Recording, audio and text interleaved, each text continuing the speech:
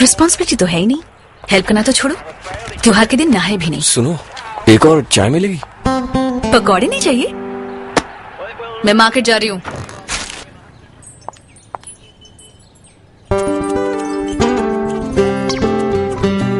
ये सब तुमने मेरे लिए किया?